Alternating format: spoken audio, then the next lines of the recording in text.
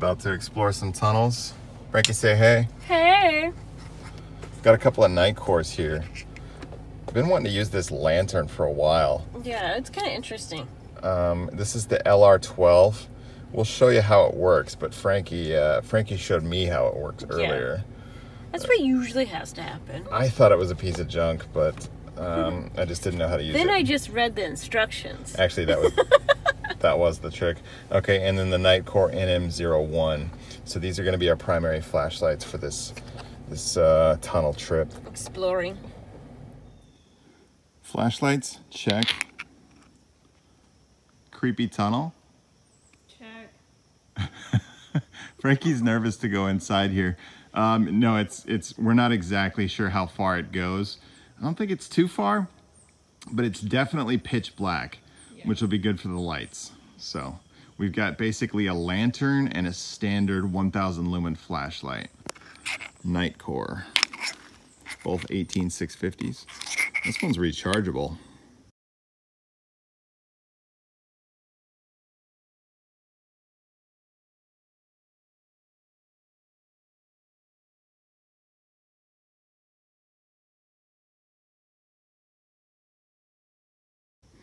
We got a fresh charge on both of them. All right, Frankie. Okay, let's go. Light at the end of the tunnel this way. Pitch black the other way. Okay, Frankie's got the little lantern. Yeah, I do. I don't have the lantern part out though. So you can use this as a basic flashlight. Yeah. And Let's then see. Here, I'll shine shine a light on you here. and then you use it as a lantern too. So then it just illuminates right in front of me really well. Put this in full lantern mode. Is that what we're yeah, in now? Yeah. Okay. You can and you could just set this on the floor. Mm-hmm. Or hang it up in your uh, sleeping sleeping bag. Sleeping hang, area. Hang it up in your tent. Yeah. It does actually look pretty handy. Rolls back in. Show us though there are three modes on this light. Okay. Um, here, let me get this back in.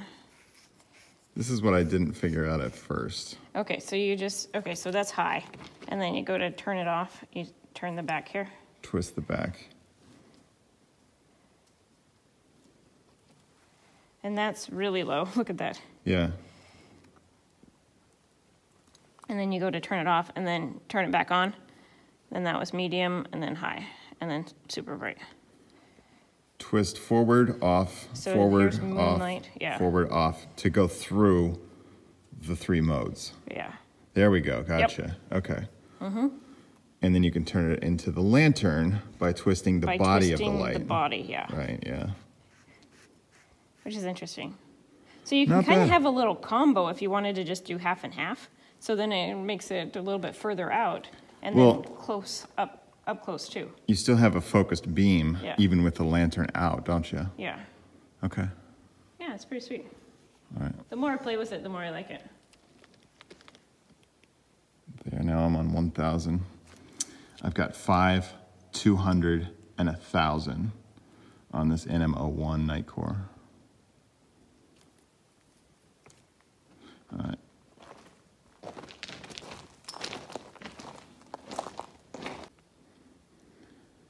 So I've got the NM01 rear push button. This is on the 1,000, this is on the 1,000 lumens mode here. To switch through the modes, Frankie, can you give me some light? Yeah. To switch through the modes here on the rear button, the button's nice. I'm not crazy about the operation on this one. Yeah. So you have to push and hold. Go ahead and turn yours off. Okay. Push and hold. And then you press. Oh, okay. I guess I guess I'll get used to it, but it's um It's different than other flashlights, so it makes it, I don't know. yeah, right now if I just go to push the light to turn it on, it won't. I got to wait a couple of seconds, and I don't want to wait a couple of seconds. No, I don't want to in this tunnel. and then it goes it will always go to the five lumen mode which is on right now guys Mm-hmm. it's barely anything so when i need light now this is not the flashlight for it Yeah. there's 200 and there's a thousand Well, and that being said, this one on the LR12 is okay too, but having to twist it to go through the different, it's like I'm, I'm, I'm a salt shaker. Salt shaker Yeah, grinder. because because Yeah. look at put put your illumination on my hand while I'm doing it. Because you have to do this. Twist I guess is on okay. and off. Yeah, but you just don't want to go too far because then you'll twist the top off too. So I mean, it's kind of I don't know. And then when you're twisting the the lantern, I don't know. But it's kind of like a little lightsaber too, so that's kind of neat. Which mode? Which uh, brightness level are you on now? I think Maximum. that's the thousand. Yeah. When you actually Oh, get, wait, there's the there it bright- yeah. Okay, let me turn mine off. What you do, push and hold. The use is a little clunky. Um, shine up. Let's hold this towards the ceiling. It is bright. So there's the focused beam. I don't know how well it's coming through, but it actually does give an okay amount of light here around us. Here right locally, it's pretty bright. And of course, we've got light at the end of the tunnel literally right now. Yeah, 200 lumen mode for the NM01. How's the heat level of your light? It's not too bad. It's warm, but not too bad. I'll show that. Frankie's got the LR12, the lightsaber light. Yeah. Mine's getting pretty warm. I've been using mostly the 200 mode. Yeah, I think I was just on medium. Talking about 60, 65 degrees out today. There's a thousand.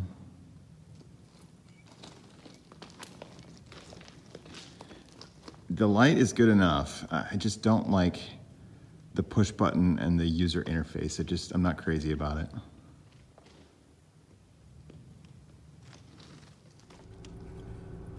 Back to the car. I don't know, Frankie. We got the two models here, the NM01 and the LR12 Yeah. from Nitecore. I guess I'm not really a fan of either one. I thought after some use that I would be. This one might be okay in the camping setting because it's not as big of a deal, you know, changing from the different modes. You Just can just set it up into one mode. She's talking the LR12 with the the lantern capability. Yeah. It, it took me a little while to figure out. Yes, I should have read the directions, but it is not immediately obvious how to go through the modes on this thing. That just bothers me. Yeah. This light here, it's a little more standard. Um, you could do the tail stand. It's got the rear button uh, selector. It is USB rechargeable. That's cool. But to turn on the light takes a second. And then you're always on low, hmm. and you got to go through the modes from there. And then to turn it off also takes a second. If you are on low, you might hit that button. It happened to me earlier. You can hit the button and think that you shut it off and you're still on low. Oh yeah. and it'd just it'd just sit there and, and run out its battery. the battery. Lasts a ridiculous runtime on low.